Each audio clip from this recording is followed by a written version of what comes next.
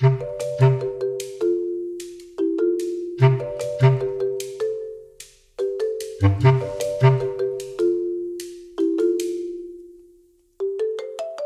project is called Anew Time Capsule. It's an interactive clock that is made of photography film.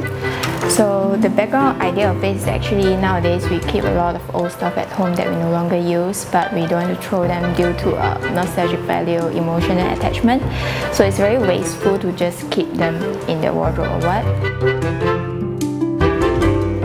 It's a cloud that made, uh, made out of obsolete items like photography film and it can be used as a cloud as well as a film gallery.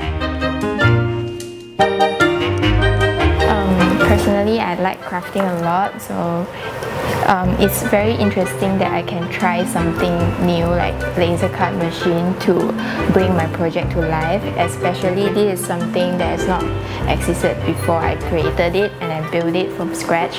Yeah, that's the fabrication part is actually the most interesting part of the project.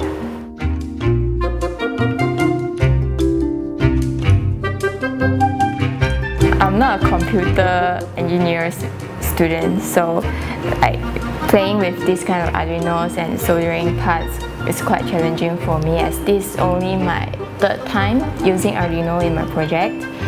So I need to do a lot more research and talk to my supervisor in Yu and he gave me suggestion and keep keep doing prototypes to make it work. So for the exterior product design part, um, I really love the part that I use embroidery on wood. A lot of people actually feedback from far they thought this engraving and when they come near and touch it, it gives a sense of surprise.